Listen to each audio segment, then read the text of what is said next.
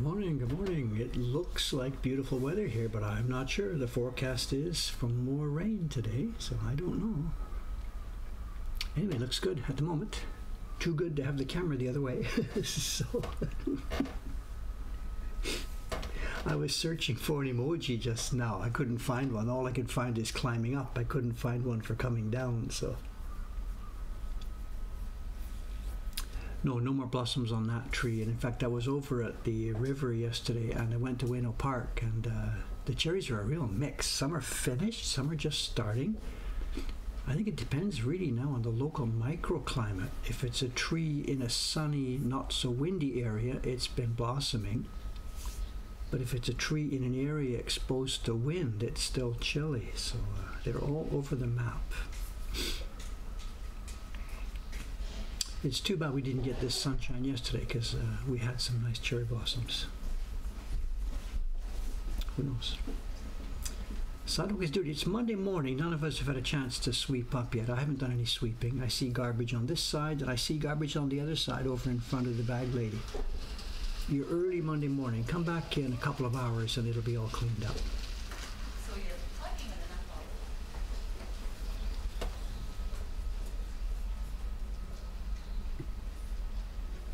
I went to Ueno Park because there's a place there where they have a specific, they have some Yamazakura. I know. Most of the cherries in Ueno Park are, it's the, what they call the Somei Yoshino type, and they're now coming into bloom now. The Yamazakura, the mountain cherry, the one that we use, blooms later, but they have a group of them, a grove of them over in Ueno Park. So I went yesterday, and they're still shut tight nothing, shut tight. What happens with them is the leaves start to peek out and then the blossoms come. So the Yamazakura is a little white flower and it's mixed with the little green leaves. It's not decorative. Nobody would think twice about going to see it. And I'm told, I don't know this for a fact, you could maybe Wikipedia it. I'm told that in Edo, before the modern craze for cherry trees, the, the, like Ueno Park, it was mostly Yamazakura, I'm told. The natural trees up in Ueno Park before they, you know, modernized it and put that big walkway. I'm told they were all Yamazakura. I don't know. And I can see why they changed because the, uh, the Yoshino type are much more decorative, completely much more decorative. And you can see the beer is back. See, guys next door, they opened up. When did they open? They've been open for about a week. They opened last Tuesday, I think. The, the quasi lockdown finished a week ago, Monday, so they opened up after the lockdown. No more payments to the restaurants the payment's finished, so they opened up on Tuesday.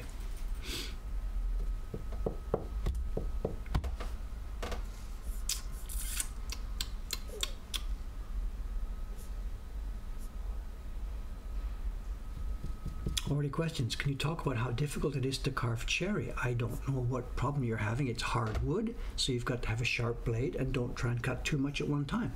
There's no special formula here cut a little bit at a time. Don't try and take too much off at any one given moment with whichever tool you're using and keep your tool sharp. Just cut a little bit, little bit, little bit. Take it easy and you're, you're there. The hardness is irrelevant. The weather in Japan this week is mixed. It's rainy, cloudy, rainy, cloudy, bit of sun, rainy, cloudy, bit of sun. It's getting warmer, and actually, I could take this off. I've got my, my Dosa shirt on. I was sizing last night. Ah. Let's get to work. Okay, what we're going to see today is a bunch of different stuff because as long as I can keep working without talking too much, we're going to persuade and we're going to finish this off in a few minutes. So today's job is doing the first of the color transfer sheets. I've got my brush and pigment ready and we'll take the first proof sheet here this morning, assuming I can get through it, and we'll do a transfer and we'll start the first color block. Maybe we'll use the back of this. No, it's split. We won't use the back of this. I'll have to go upstairs and get a block. Anyway, let's get to it.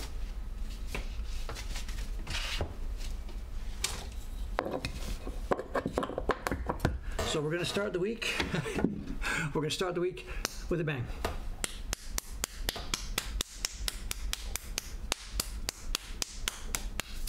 Be careful. If you've got headphones, we have a compressor, limiter, etc., etc. Let's test this. Let's test this bit by bit.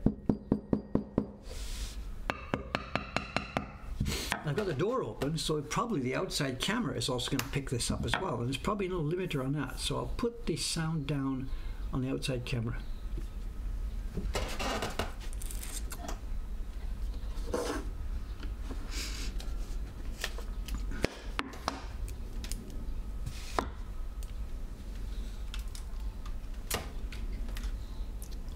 And I'll try and remember to get the tripod off the bench.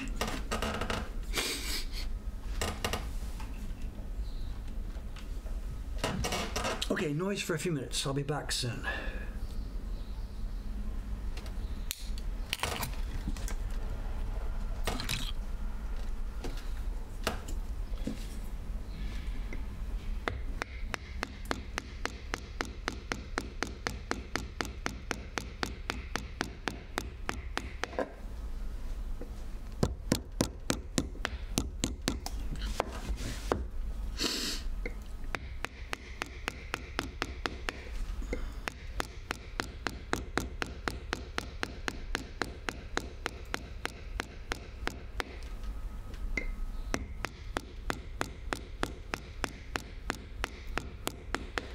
Not really the right tool. I need a deeper chisel for that.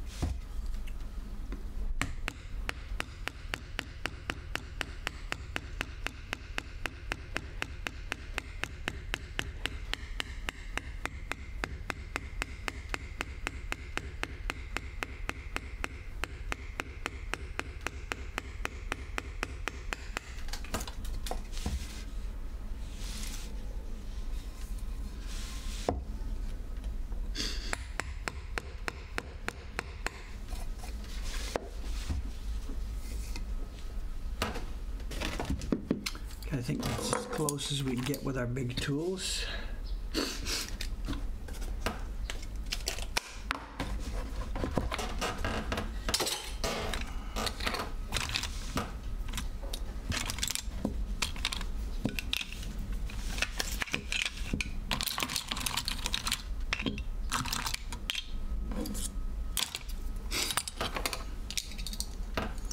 Same conversation, same point, the three stages to show we did the first stage. The first stage was the line work with the knife everywhere.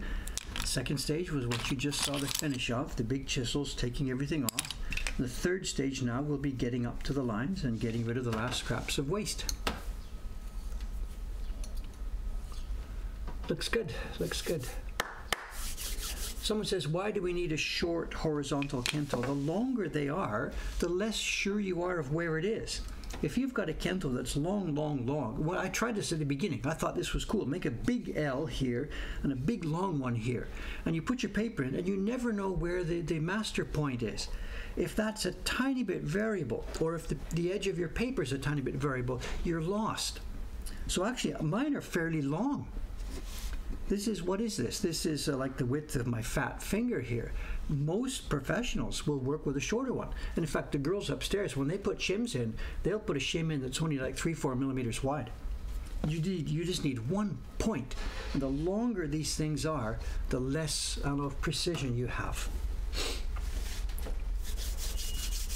It's precision, precision, precision. What you really need is a point. Absolutely.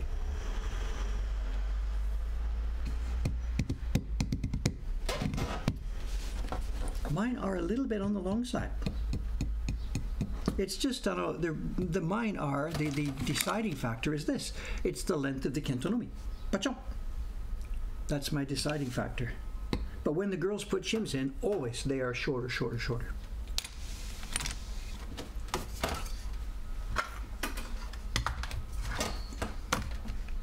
Okay, let's find our working spot and zoom in. If I'm going to work here,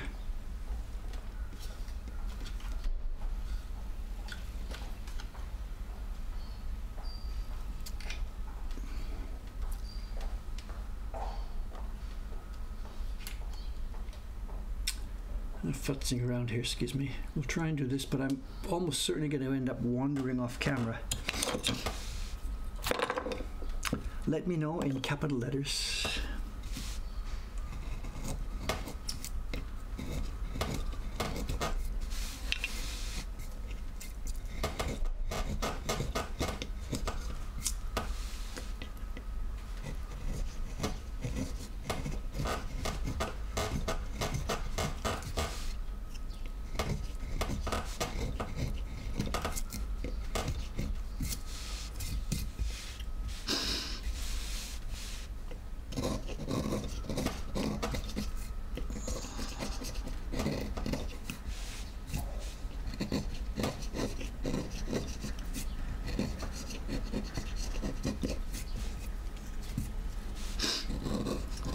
with the you know, combination of things, the cherry season happening here and school holidays still on and not too bad weather over the weekend. It didn't absolutely pour with the rain. Asakusa was crazy yesterday. Crazy. I posted that emoji just before the stream started here today, the rock climbing emoji. I couldn't find one for coming down. I could only find the emoji for going up. They were doing this yesterday. They were throwing customers off the roof. I could not believe it. This is the first time. He had talked about this, and yesterday they were doing it. They were throwing customers off the roof. Her first one was a young girl. I guess she's about a college age girl or something. I was sitting at my bench upstairs. I'm working on the post office API software yesterday afternoon. I'm sitting there. I went for a walk in the morning, got back for a walk, was working on the software. And there's noisy outside. You hear the, they do the breaking of the tiles act events. You hear all the certain sounds and there was a big ooh ah ooh ah sound. So I came to the window to see what's going on, and I just caught the part where her feet touched the ground. The guy had come down together on two ropes. He'd got this college age girl somewhere around there. He, she, he tied the string around her, and they must have come down together side by side. And the crowd went nuts. And I just got to the window in time to see them get to the ground. I think they are criminally negligent by doing that, but whatever. What do I know? What do I know?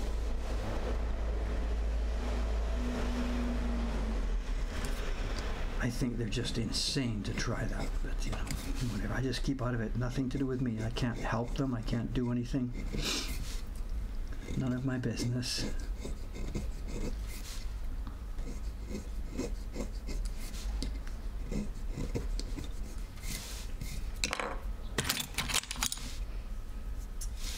Taking customers up to the roof, tying a rope around their waist and lowering them off when the rope is tied to a little wrought iron balcony. I mean, give me a break.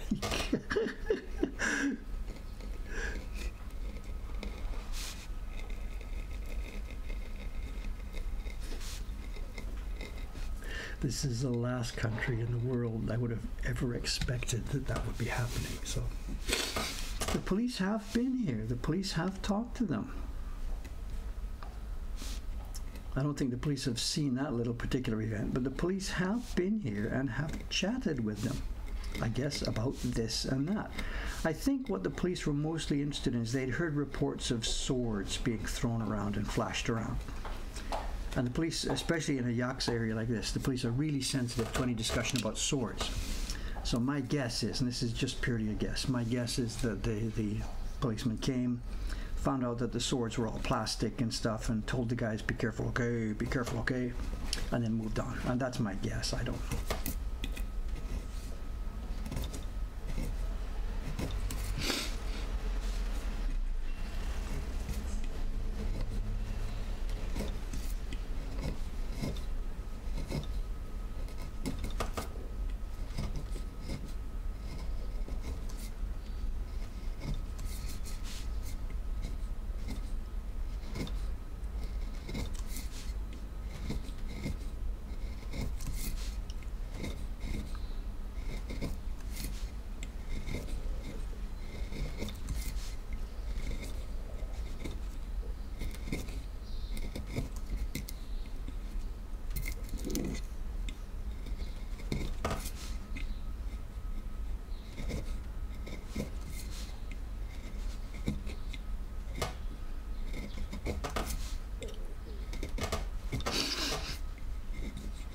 Uh, the pollen thing is here. I guess I'm not quite dead. I guess I've still got some semblance of pollen allergy left. You know, it used to be really bad for me when I first came to Japan, but uh, in recent years, as I've got older, it's decreased an awful lot. But it's not zero yet. So uh, last year I don't remember having it at all, but this year I've got some, and they tell me that it's a real bad year for it. So I guess uh, it's over my threshold. I guess.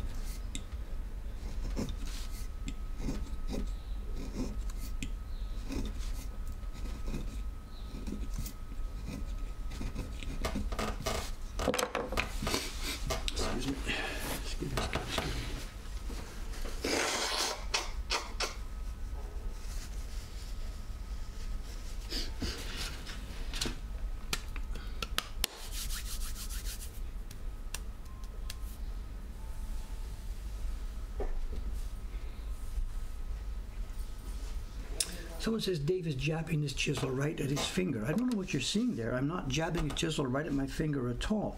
The, the chisel here is on the ground. Here, just let me let me get the next one ready.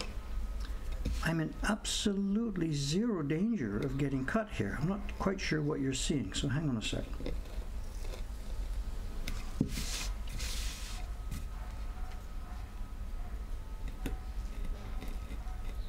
Let's just prep this first for slicing. Get this separated.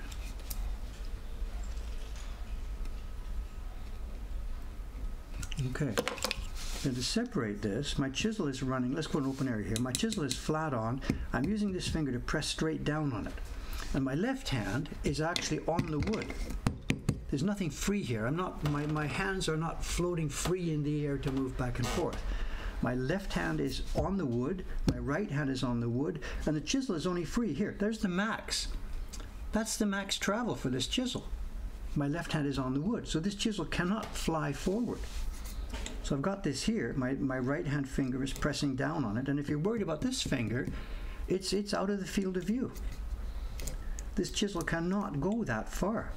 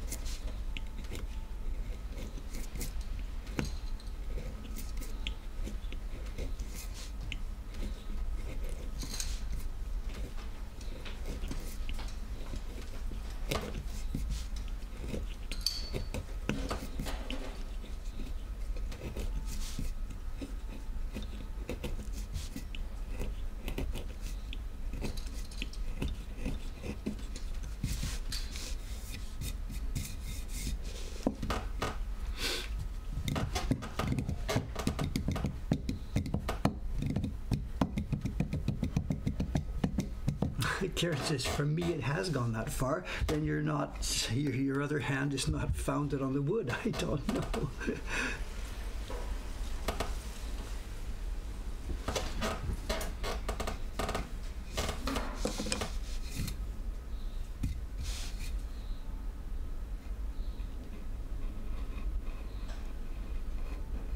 Have the ninjas arrived over there? It's still school holidays, so uh,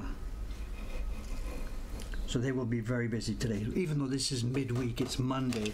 Normally they're dead, dead on the water on a Monday, but it's school holidays. All kids are off school these days now.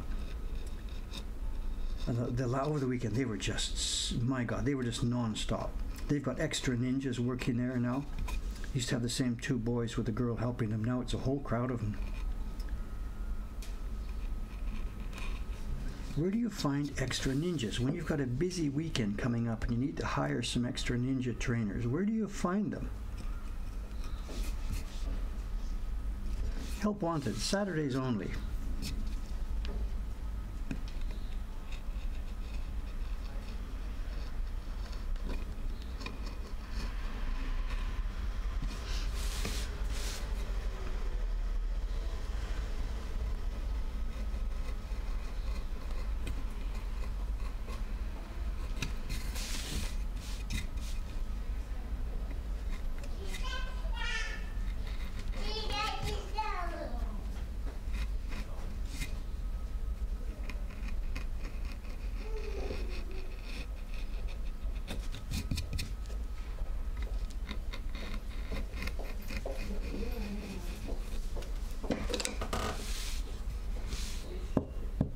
So, not a very good ninja if you're easy to find. So,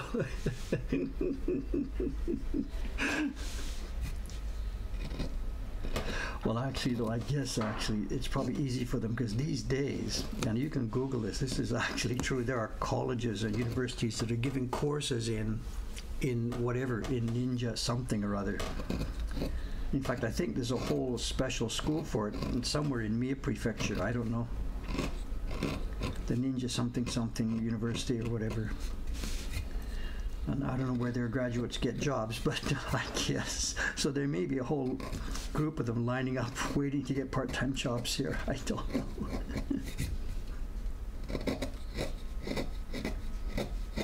here, it's different here. Now, uh, my left hand now isn't founded on the wood because there is no wood here. So this place, this kind of place, is where it's a bit more shaky. My left hand now is, is up in the air. Normally the left hand would be on the wood, but it's up in the air now. So I'm being really careful here. I'm floating my hand. And this is the place where this could slide forward because my left hand is free. So I'm just keeping it very, very careful. A couple of millimeters at a time, no large strokes.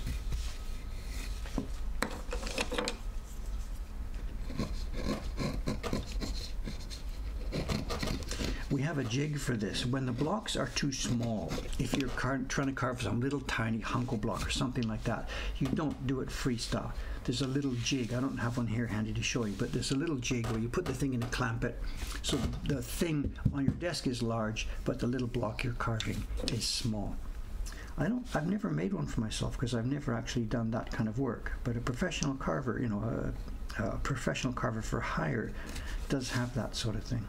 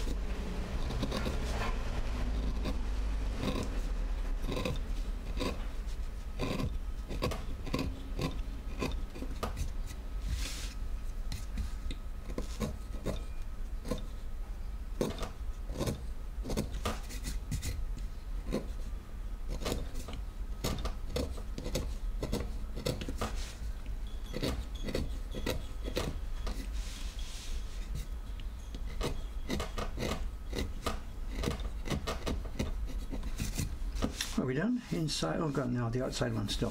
The two outside ones are not done.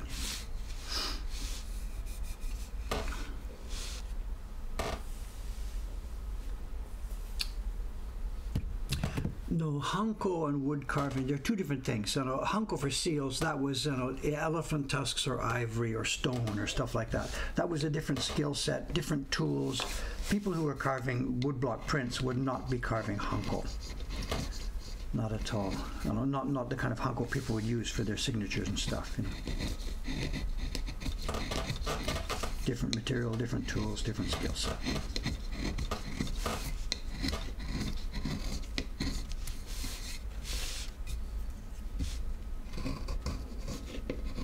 I did my own because I'm a geek, you know, but uh, normally a woodblock carver would have no connection with that sort of stuff.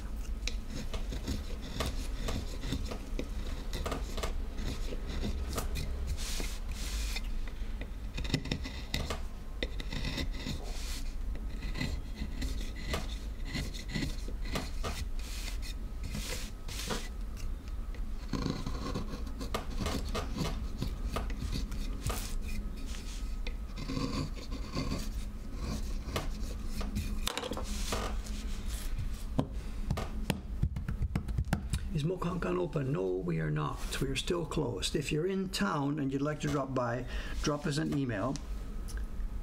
So what's been happening is people have been coming by, but we are not actually open. If you just come by at a random time, it's quite possible nobody will be here. The place is going to be closed up. So if you would like to come by, absolutely drop us an email. And we can arrange that you can drop by in a time when, when one of us will be here. Uh, actually, I got an email on this last night. A young lady who's coming for the Me Lab, which I guess is open again. I hadn't known this. She says she's coming in April, and I guess she's got permission to come in. I guess there must be a student visa thing here rather than tourist visa. She's coming in for the next Me Lab, and I didn't even know that was up and running again.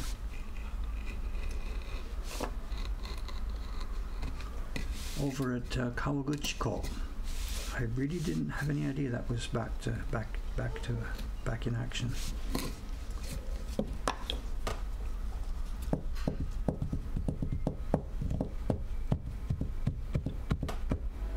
Our traditional hanko carving. You mean you mean hanko like for seals? No, they're cut, they're carved. You can see lots of videos.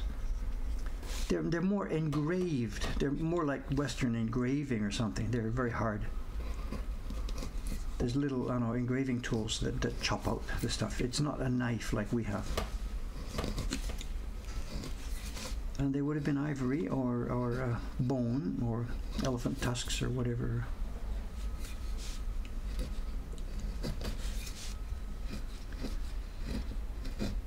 It's still a big deal here, you know. It's kind of a dirty thing, you know. You can go to a hanko company, there's one around the corner from here, and you can still get a hanko made on ivory here. They maybe don't put them in the front window, but they still got them. And those guys are saying, it's our tradition, it's our tradition, we can't, you know, do this, blah, blah, it's our tradition. Crap. So yeah, this is one of those places where you can uh, get that stuff.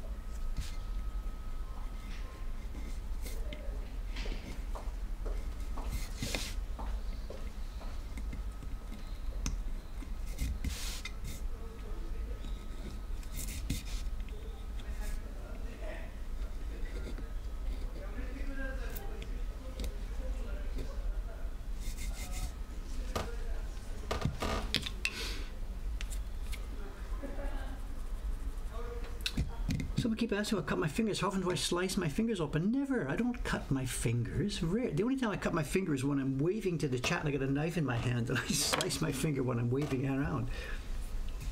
There's no, there's no risk here. You know, there's absolutely no risk.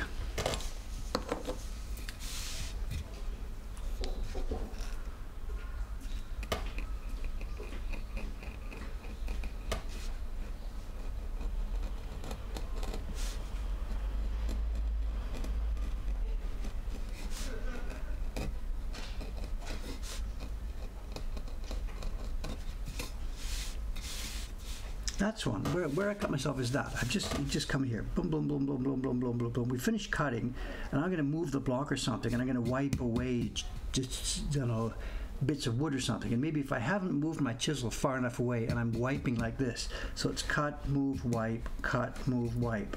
And sometimes that'll happen. If I haven't moved far enough away and I'm wiping, I might bang the edge of the chisel with my with my finger or something. So during the wiping or something, that's more often when there's more of a risk of cutting myself. During the actual wood cutting part, there's really basically no risk at all.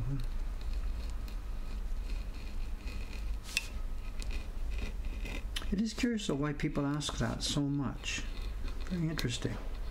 I mean, basically every day on this chat, sometimes somebody asks about this. Very curious. Does it look that risky? I don't know. I didn't think so, but I guess it does.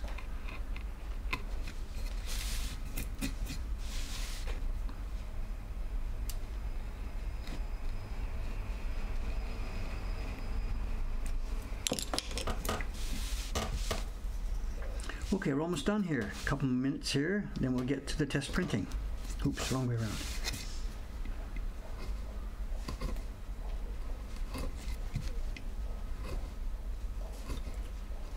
Again, here now my left hand is unsupported, it's up in the air, so that's more trouble, more risk there.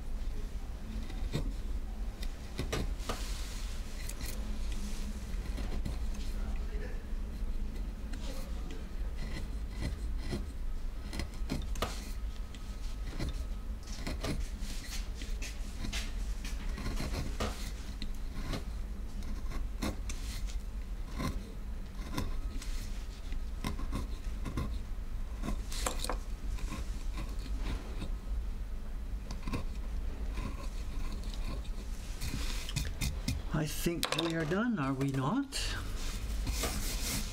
Oh, the registration corner, just the last little clean up here.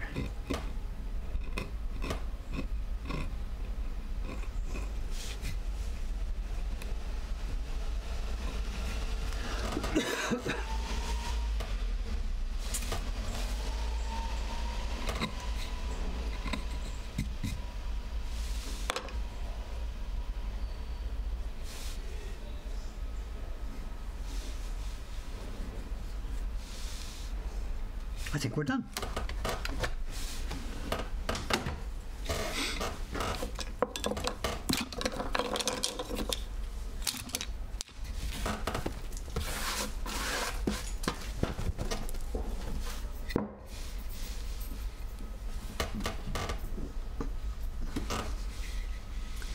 Any place missed? I don't think so.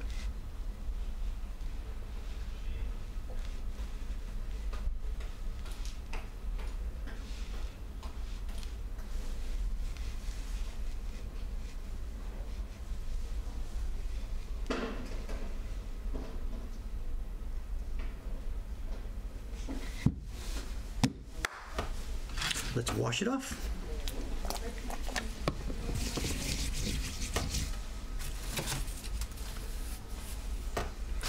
Someone's asking, is there a shrine about the wood? I don't believe so, not that I've ever heard. I don't have any idea.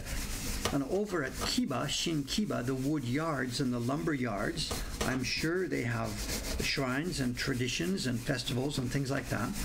But specifically for cherry or mountain cherry, I've never heard of such a thing. And the wood carving community, the, the ukiyo-e carving community, I've never heard of something at that end either. So no, I don't know.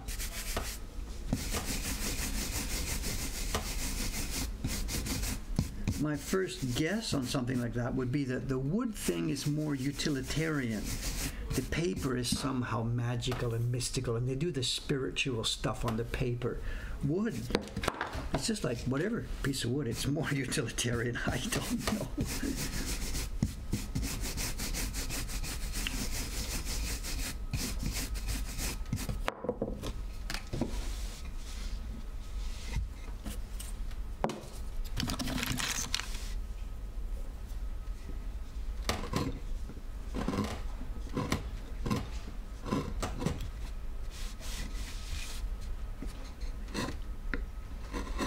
Here's one. I'll keep my hand out of the way, right? I'm not going to put my hand here and slice this one. Nobody would do that.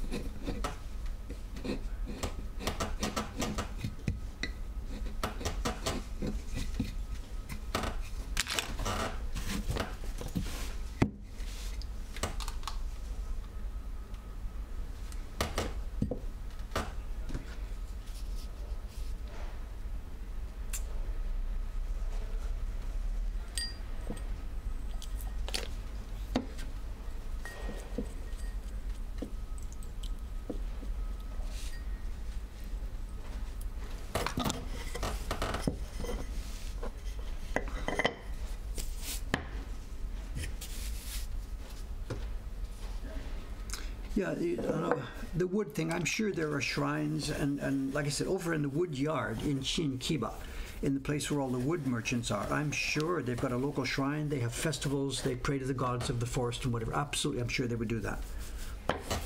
I've never heard of anything like that being related to the carving community with Yamazakura, cherry wood, and stuff like that in, in specific. But I'm sure, absolutely, there will be something like that. You're getting a test print. We're moving on. We're moving on. It's not a test print. What we're going to do here now, this is this will need a little bit of explanation. Hang on a second. Let me get a piece of paper. This print has lots and lots and lots of design elements that are not in the key. For example, we can see a monkey he's going to be reaching into the water. In the water, there are going to be ripples. Those ripples will affect more than one color block. Listen carefully, class. This is going to get complicated here. Those ripples and other elements will affect more than one color block. So for this print, I can't use the completely classical ukiyo-e technique. The ukiyo-e technique would be, would be to print the key block, one, two, three, four, five, six times. And on those printings, color in the areas I want to keep, paste them down onto fresh wood, and go. But, for example, we have ripples here. How am I going to do that on multiple blocks? There's a ripple in on one block and a ripple out on the other block. How can we do that? So what we're going to do here is stage by stage. I can't transfer this key to six sheets of paper and carve six blocks. I'm going to transfer it to one block. And on that block, I'm going to carve some shapes. There's going to be stars. And the first block, no, the first block won't have ripples. The first block will have, for example, stars. Now, the second block also needs the stars, but they're not visible on the key. So we're going to do just one color block and we're going to use a combination of my carved lines and Photoshop data from John. The Photoshop data has the part of the ripple area and it has stars. Let's just do it. We'll explain it as we're doing it. So I'm going to cut here now just one transfer sheet, and we're going to do it. Me just let me just do it. Let me just do it. We can explain. So if someone says I'm lost, whatever, just just watch. Just watch. Just watch.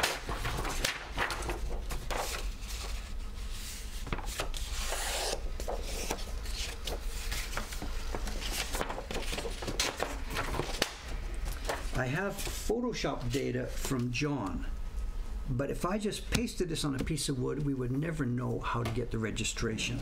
So here's what we're going to do. Actually, I'll need two pieces. I need a junk piece first. Are you ready? Are you going to catch this? The famous moment when the block gets splashed with pigment. Goodbye, clean wood.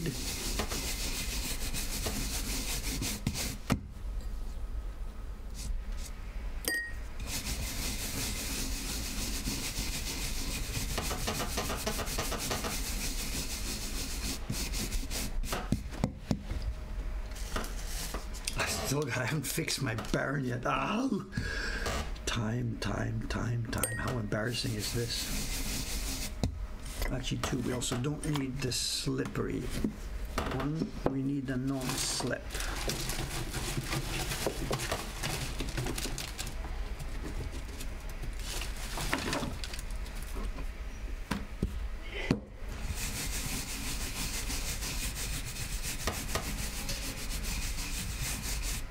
Okay, first test sheet.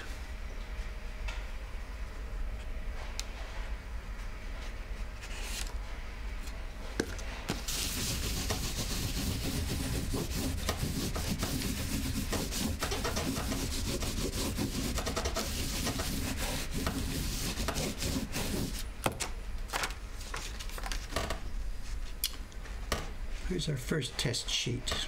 There's lots of stuff. We don't have a clue what it is yet. All will come later on. Obviously, you know what the concept is. Ship it. not yet. Not yet. not yet. Not yet. This is going to be key block plus six colors. We are cranking up the Patreon Chibi level. We've kept the same level of design for Patreon Chibis now for five years. And I told John it's time to do something different. So we've got, instead of key block and four colors, we're using key and six colors this time. There's going to be one, two, three gradations, maybe four gradations. We're leveling up. Part of this is because the Patreon's doing really well. There's money is just coming in that helps so much, and we have got to start to grade up how we, we repay the Patreon people. It's going to be lots and lots of work we need to do. Okay, Dave, quit talking, do this. That was a quick test print. Now, let's do it again. This next one is going to be a transfer sheet, but no gunpowder.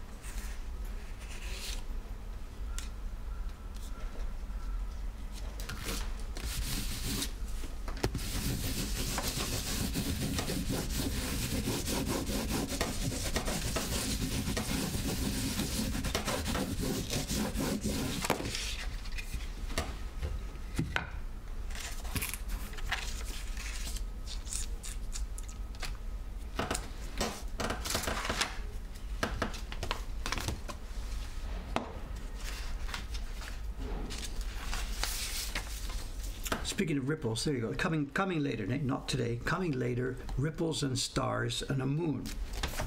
Today, for the background tone, we need the moon and stars and the base tone for the ripples. And what we're going to do is this. This, these lines are not accurate. This is Photoshop, but this is not what I carved. These lines are the real, real lines. So we're going to take the Photoshop data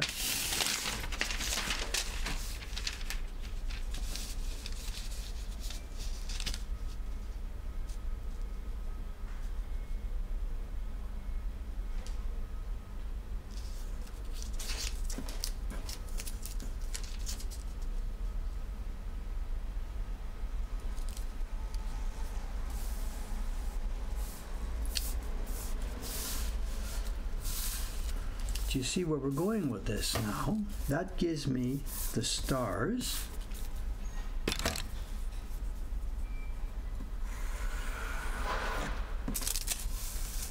And we forget the Photoshop quasi-Kento markings. We go with the real Kento markings, which are the edge of this paper. But what about the monkey? To carve this one, I need to have that lines. So we are going to bring the block back. And I'm going to print again now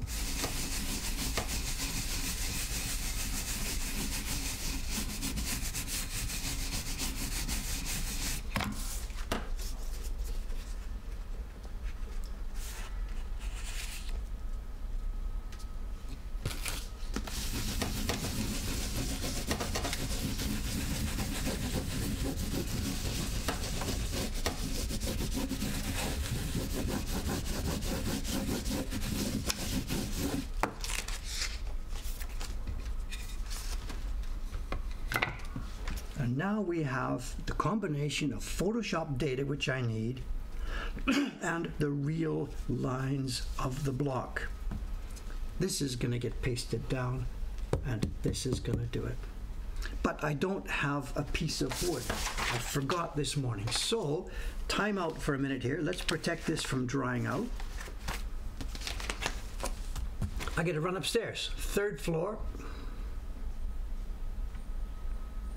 I've got to run upstairs, third floor, and get myself a piece of wood. Back in one minute or two minutes. Back in a sec.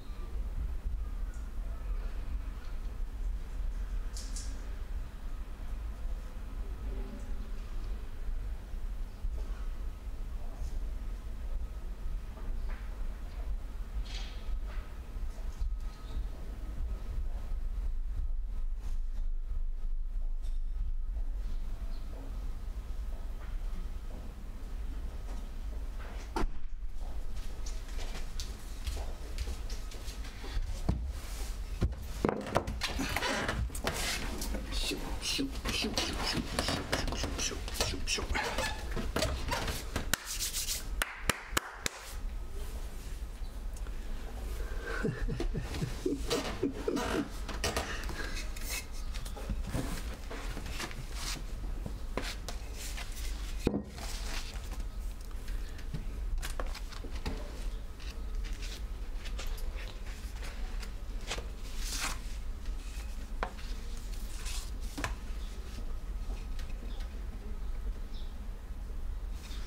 seems to be matching up. You know, there's going to be a skin tone, there's a moon, stars, two faces, an ear, a moon reflection.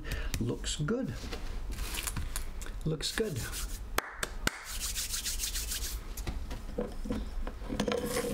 What happens next? You know, of course, cut some registration marks, and away we go.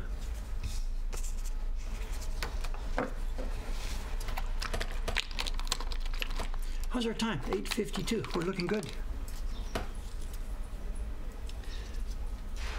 We'll get a peel, I think, here, yes. I'm not sure what gampi this is. I've been a bit careless about choosing my gampi here later.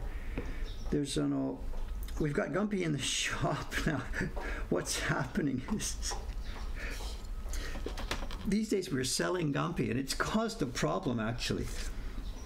Before we just had our own gampi stock for ourselves and didn't worry about you know anything else. But now we keep selling it. Orders come in and we find we're out of it. We grab some more, and so now the gampi stock is something that I can't actually touch. It belongs to the shop. It doesn't belong to the carvers anymore. So we have, uh, I've just been getting scraps here and there left over. So I think I've got to start either officially stealing it from the shop stock or arranging to buy it or something. I don't know.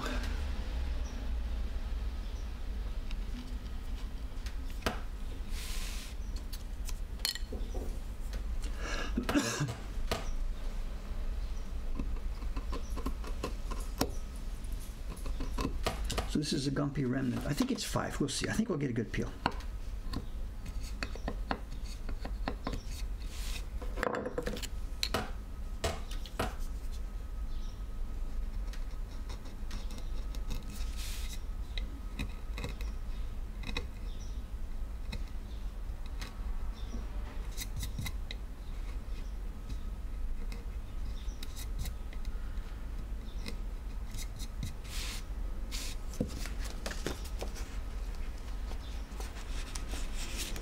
Looking good.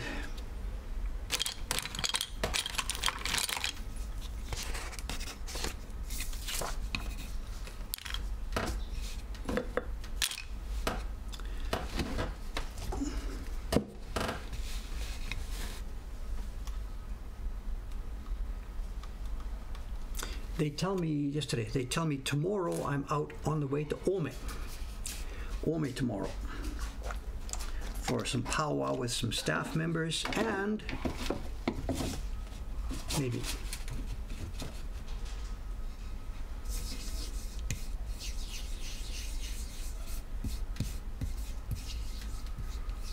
So if the stars all line up tonight, we can say goodbye to some hair. Talking about wearing out the bamboo sheath. It can wear out in a day or less than a day. If you're printing on a, a heavy background, you can change it at noon. Print all morning, change it at lunchtime, and print again in the afternoon.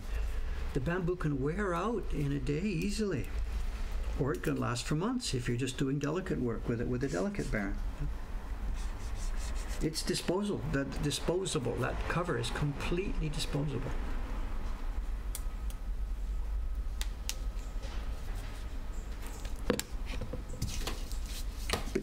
I have to wipe some off here.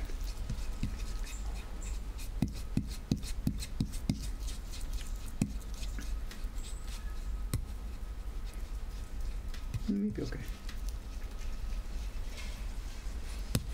Maybe okay. I thought it was too much. Seems okay. Let's give it a go.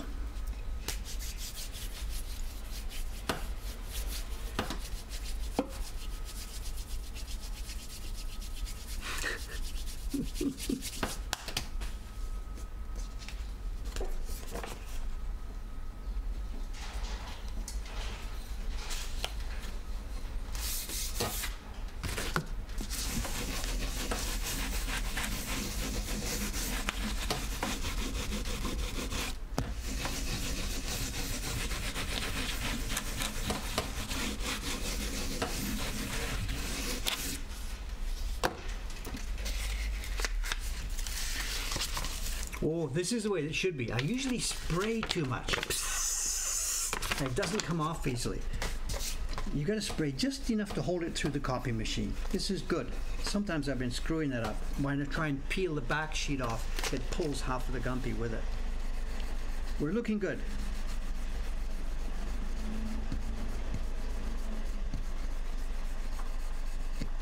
Maybe we have just about the right amount of glue, just the right amount of spray, maybe this is going to be a nice one here.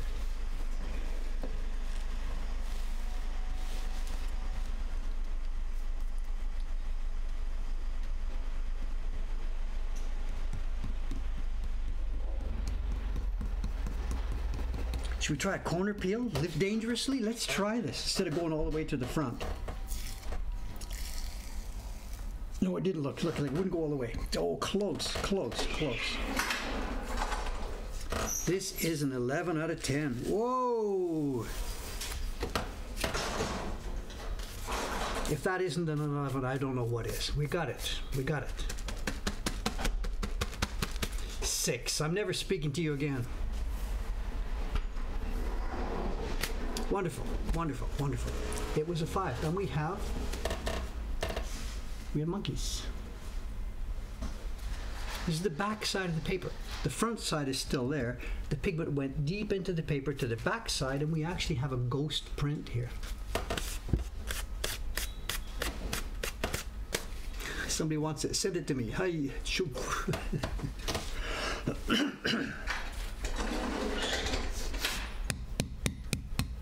Now I've got to be careful with a couple of places because John has fooled around with the image here again.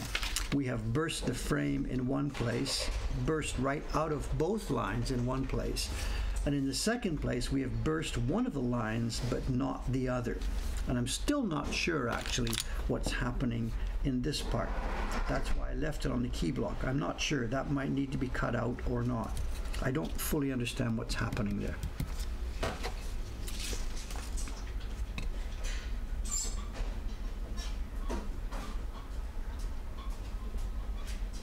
Looking good.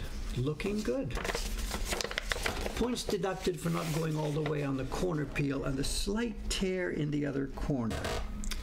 Picky, picky, picky, picky, picky, picky. so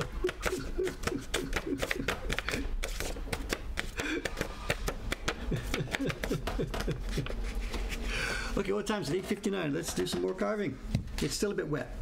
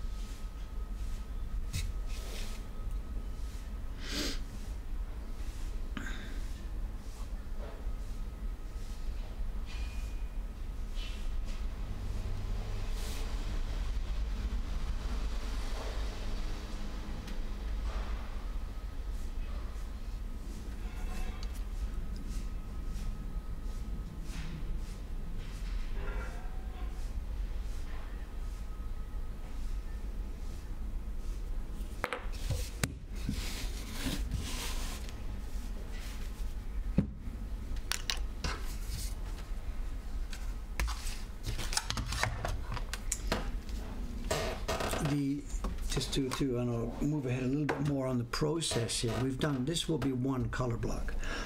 when I have finished carving this, we will need information from it. The information about the lines, the monkey shape and stuff. The next one will work in exactly the same way. When we're pasting this next one down, we will follow the same basic procedure. We will print first on a non-gampi paper and then I will print on the non-Gampi paper twice. I will print the key blocks, then I will print this block that we're just carving in light pigment. And that will give me the location of the stars on our proof print. I will then take the Photoshop printout, take it again, move it around on top until the stars line up and then put it down. You'll be seeing this on a stream next week and then paste it down. So it's key to number one, key and one combined to give me the information for number two. And then we'll go all the way. It'll be key one and two, we'll do for three. And then it'll be key one and two for four, key one and two for five and six. But for the rest of the color blocks, we will need the key block, the stars, and the ripples. And they will all have to show on every one of the subsequent transfer sheets.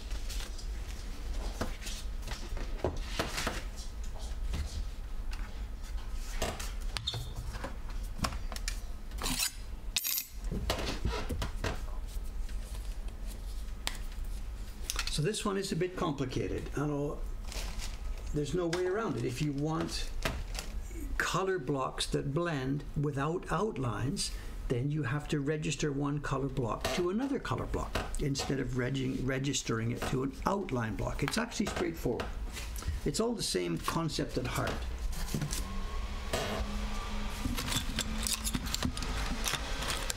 Karen must be doing this all the time in her work because she has lots of elements in her work that don't show on the key block.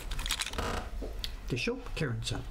Clear as mud. Whatever. Just watch it as it goes forward over the next couple of weeks.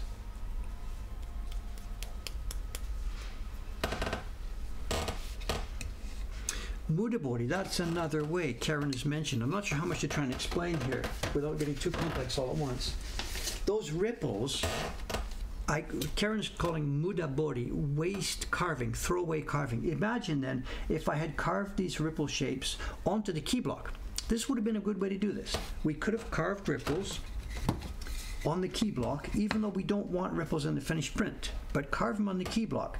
Then transfer, transfer, transfer. Your information then transfers to all the different color blocks the color blocks register properly with the ripples, and then you come back to your key blocks and you rip off the color, the, the ripples. You tear off the ripples because they're no longer needed anymore. So this is an alternative method that Karen is mentioning here.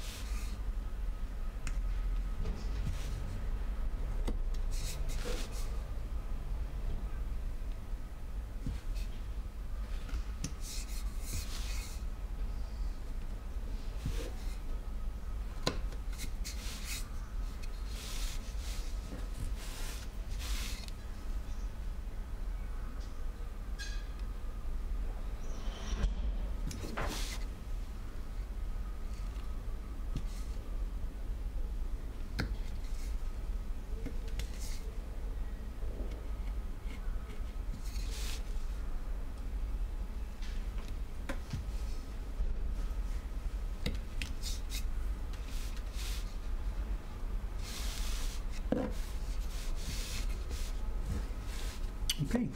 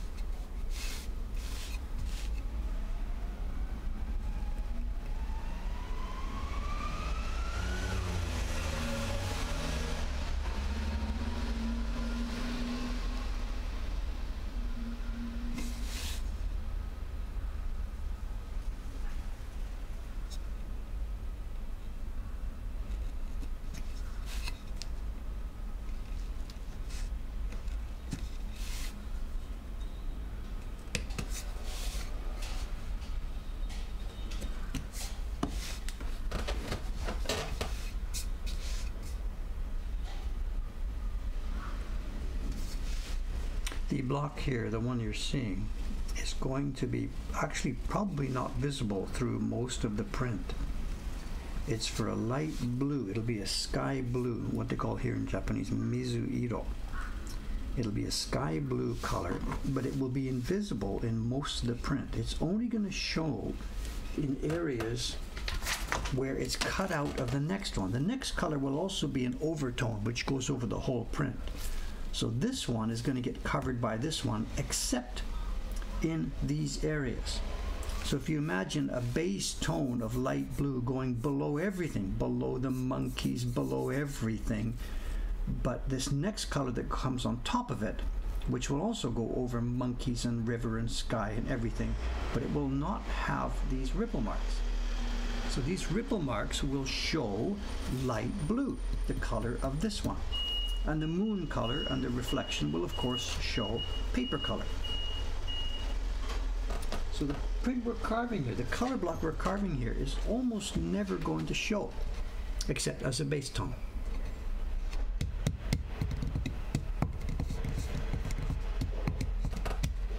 There's the Oshibori track.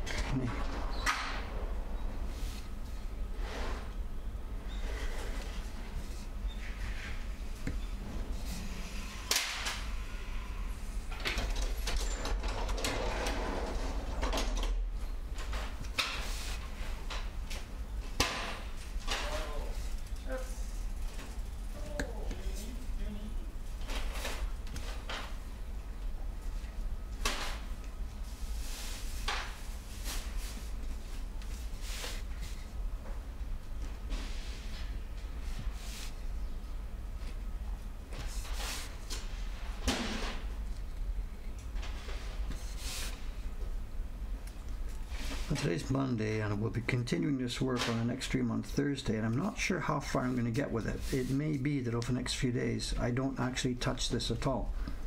It could be when we meet again on Thursday morning, three days from now, I'll be carving this same block.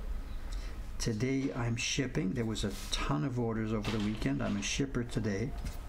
Tomorrow I'm out in Ome. And maybe for two days I'll be out in Ome. I'm not sure. The staff there has asked for a powwow. so I'm not quite actually sure what's going on. I have my suspicions, but uh, I'm not actually sure what's happening.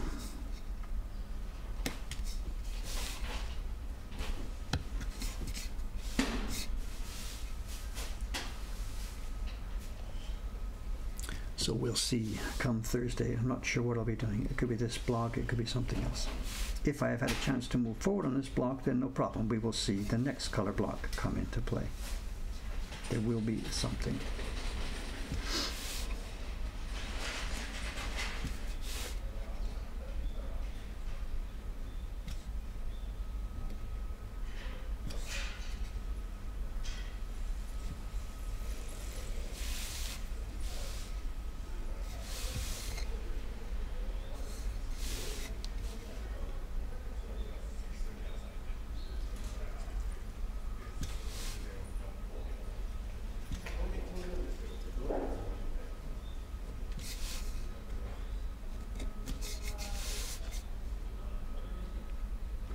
Guess we're coming up to show and tell, are we? A couple minutes here.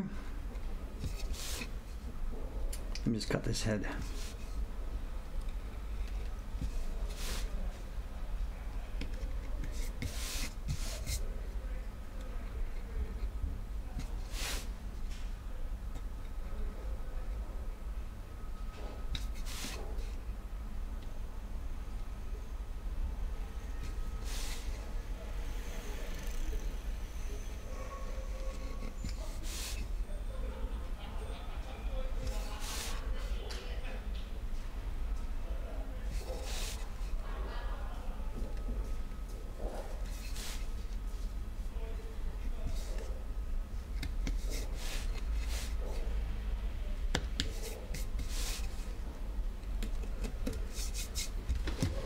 Okay, that'll do it, I think.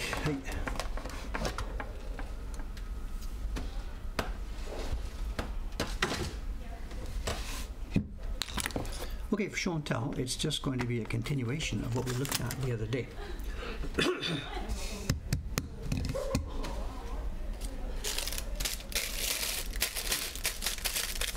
I don't want a risque weather dress. What's this? a YouTube address FKOU. I didn't make that up. That's my video, isn't it? Interesting.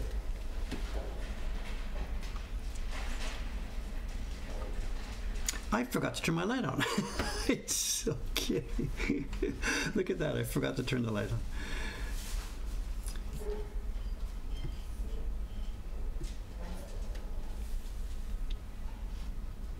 Did I roll back the scroll? Of course I rolled back the scroll, and it, I, I, rolled really, really carefully, actually, and it's now uh, not half the diameter. It's much less diameter than it was before.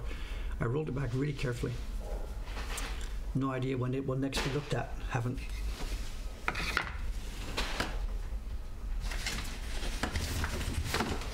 Okay, I said I was going to peek ahead in this book, and I didn't do that. I didn't have time, I'm sorry, so I have really no idea what's coming up. I know in general terms what's in this book, but I don't remember specifics. A little bit of a treasure chest. Let's just see what we can find. Yeah, the camera. Nay. Actually, there is. There's a camber on the street, so the truck is actually tipped a little bit. We looked at this stuff the other day. What's the next page? Okay, we looked at what did we look at? We didn't get to this, did we? We just looked at one page. Let's see what's in the next page.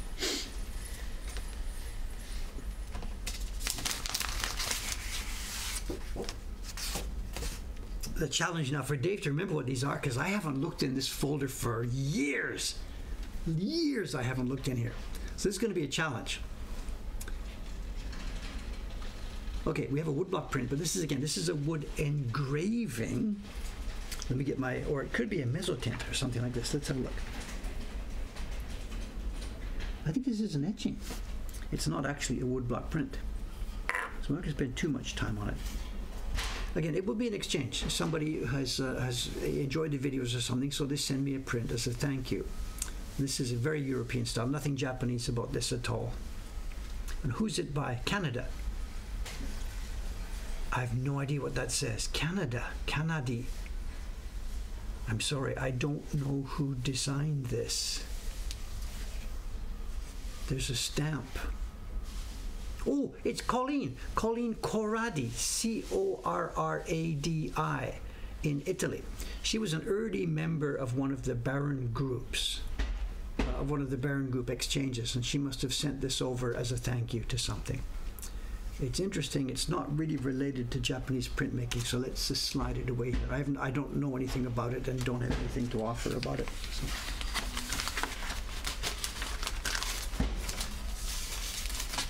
These, oh, these, I remember these. There's a story here. My God, this could have killed me.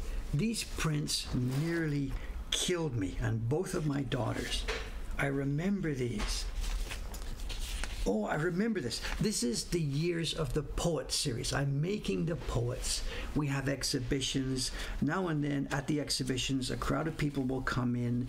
They are from a, a Sunday morning woodblock group or something like that at the local community center somewhere in Tokyo. I mean, my exhibitions were in Shinjuku, and people would come in from all over the place.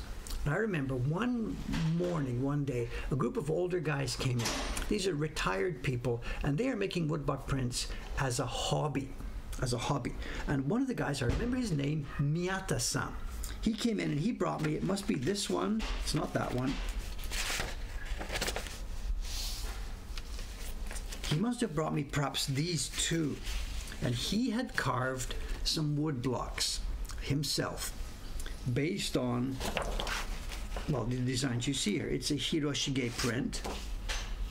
Oh, I would have done that one. He brought me some, some prints he'd done. And he says, Teach me, Sensei, teach me, teach me, teach me. And I'm like, Well, no, I don't teach woodblock printmaking. I'm sorry. I've, I've a full life making my own series here with my daughters and blah, blah, blah, blah, blah, blah. And he says, Well, can I come and watch what's going on? And he had, you know, he had carved this thing and he'd tried to print it without really understanding much of what's going on. And it was kind of blotchy and kind of messy, but whatever. The guy is trying to do this. So I must have said, Sure, come on over. No problem, no problem, no problem. So he came over and he brought some some of the blocks, and this one he brought with him, and I actually printed this. I would have printed this from his blocks, given him a copy, and kept a copy for myself. And it was really difficult because he hadn't carved very deeply at all. There was mess all over the place. So I think I took my chisel there and banged out some stuff and carved them a bit more deeply. Okay, long story short, it's okay. We go on with this. And then at the end of this, my daughters are there, Daddy, let's go. Come on, when's this guy going to hang around? And the guy says, Okay, thanks, Dave, really so much. Tell you what, let's go for a drive. I'll take you guys out for a drive. Let's go up to the. And I remember he wanted to show us the old silver mine up in Okutama. I was living in Hamura. And up in Okutama, there was an old silver mine.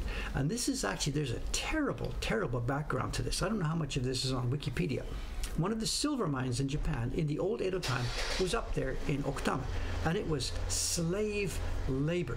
The miners were underground in a silver mine, eight, X hours a day, dirt, whatever. And there was a little village up above it. And the village had like accommodation for the miners. And across the other side of the stream, it had a bunch of ladies who were forced to this village to live there as um, as uh, help, you know, to help the miners do their work or whatever. I don't know what to say. It was a terrible, terrible situation. And this was in the Edo time. Forced labor in the mines and forced labor for the women to comfort the miners, whatever expression you want to use. There's nothing good about this story at all. But it's still there. I mean, it's not still there. I mean, there, where it used to be is there. And there's some old broken shacks still there and stuff like that. And I had always wanted to see this. He says, let's go for a drive, let's go for a drive. So me and the kids get in the car with this guy in Hamura, and zoom, we go up there. And he nearly killed us. We're, we get to Ome, we get to this mountain road, it's curving round and round, and he's enthusiastic, he's talking, he's looking in the back seat to talk to the girls, and we go round this curve, and he drifts totally, completely into the opposite lane and we're on a blind mountain road. And I'm like in the front seat, clutching this, Miyata-san, Miyata-san. He looks back, there's a car coming, and they do the wrong thing. We stay on the wrong side. The other guy was a smart driver. He went to the wrong side of the road, and we crossed the wrong way around. and he disappears in the rearview mirror, and I'm like, what has just happened? And I just blew up at this guy. What the?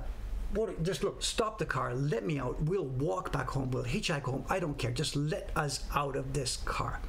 And he's like, it, we're all to die. It doesn't matter, you know. It doesn't matter. I forget the words he used, but he's just blowing me off. We're all to die anyway. Who gives a shit? Let's just go. Let's go. And I just, whatever. Me and my two kids are in the car, and whatever, whatever, whatever. We did. He, he settled down. He drove properly in the right lines and settled down. But my God, what an experience! My kids were just like, they really didn't actually see what happened, and I don't think I even really told them about it. But that's this is Miyata-san. These prints are in my folder, and I guess every time I see this, I remember what happened, and I'm just like, yeah, we got there to the mine, and actually, there's there's really absolutely nothing there. There's there, there's a, there's a wide space on the road. It widens out on the road. There's a place to park your car, and there's a signboard that says this is where it all happened. And if you peer through the brush, whatever, there's a bit of broken wood or something there. So there's actually nothing to see. It wasn't any point in going up there. So whatever. It makes a great story, but it's a story I really would not rather uh, rather tell. But I remember his name. I will never forget that man. Never forget him. Look at what we have here. Look, look, look, look, look. Speak of the devil. This is John Amos's newest design. This is a design from John Amos way, way, way, way back. Is there a date on here? It says 02. It must be 2002. And this could have been made by John for one of the Baren Group exchanges, or maybe he just made it for fun.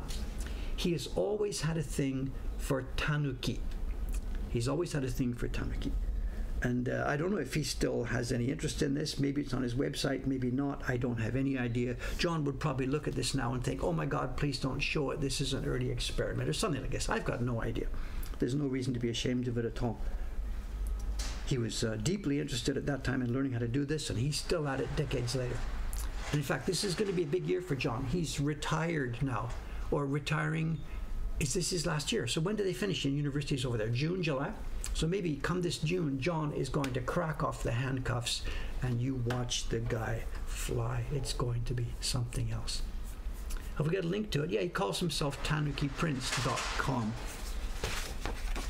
I don't know the paper. It's a Western paper. And maybe back when John was doing this, he didn't have access to Japanese paper. I don't know. It's the same kind of paper that Matt Brown uses, I think. Yeah, and this is a thing. This is a thing with John, well, Hokusai as well, but it's a thing. Popping the frame. And absolutely, we see this with John there, and we see it here. So he's got his uh, he's got his quirks the same as all of us do, and popping out of the frame is one of them. And is this guy stoned or drunk or I don't know.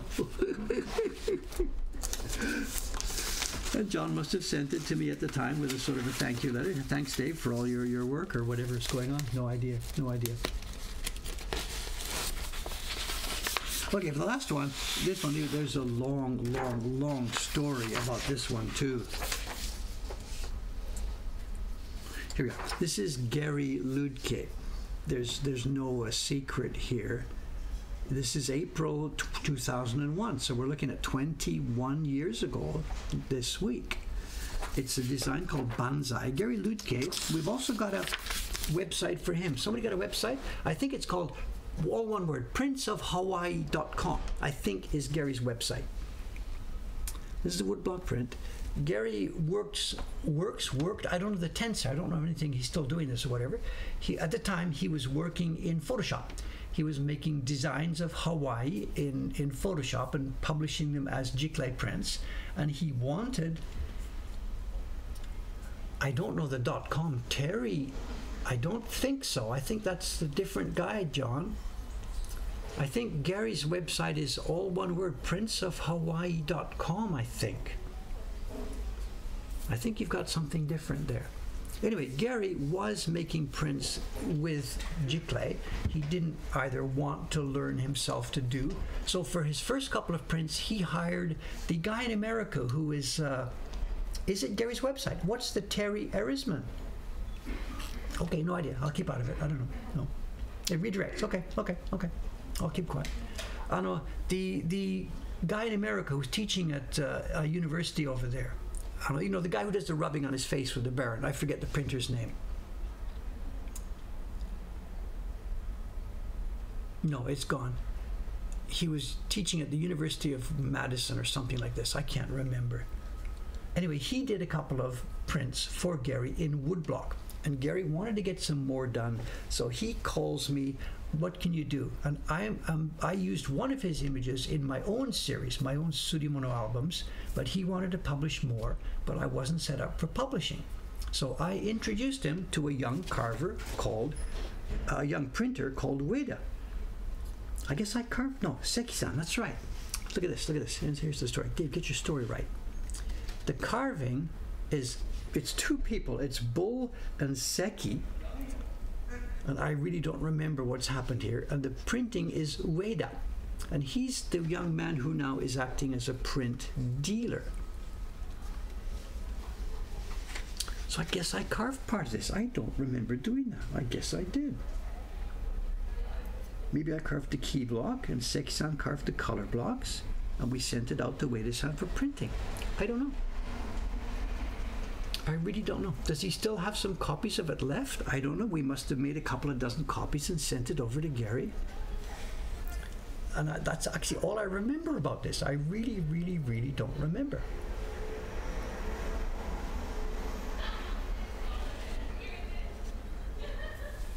And I have two other jobs. I used one of Gary's designs in my Surimono albums, and then I published one of his. If you go to mokuhankan.com and look for print number six, that's another design of Gary's. Can I remember the message? The HTTPS dot com catalog 0006.php. I think, does that work?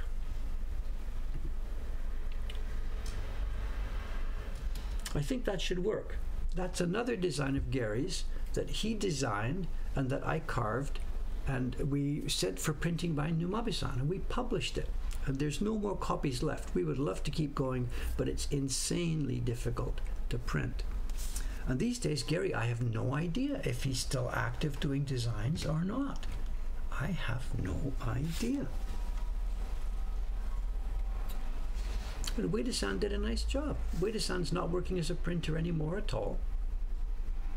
He's now a dealer, a book dealer. We get books and prints from him. This is intentional. This is not a defect. It's intentional Barensuji.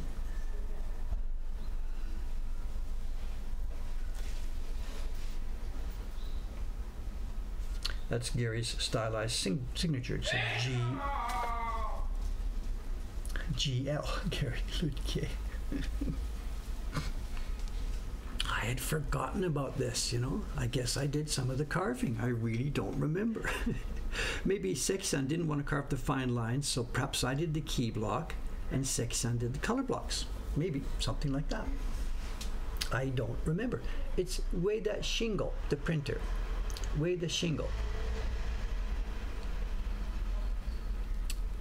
Can I recognize my work? No, not at all.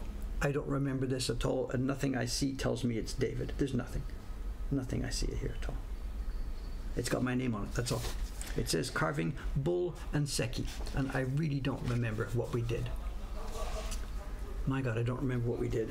I don't have a date. I don't have a clue. Well, the date was 2001, so it's 22 years ago. So. Anyway, there we go. Hi, okay, okay, okay.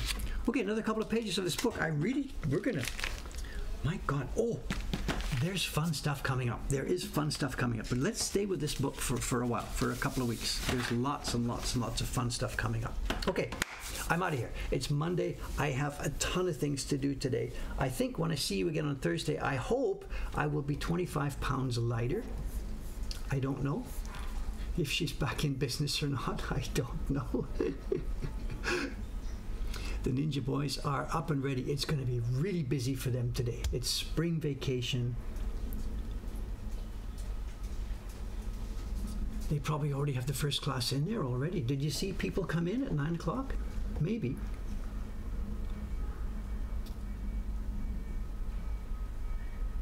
Okay, all right. I am out of here. Thanks very much for your for, for cooperation today. Thanks to the mods again for helping out with this. I hear they had a bad time the other day, but uh, today uh, maybe it's been quiet. No idea. Thanks very much. I'm going to see you on Thursday. Bye for now. Bye bye. What's happening outside? Action. That's the lady from the coffee shop, and that was Yamaguchi-san, the owner of the little theater. Maybe that was his morning coffee. I don't know. Who knows? Maybe he forgot something in the coffee shop. okay. I am out of here. See you later. Bye for now.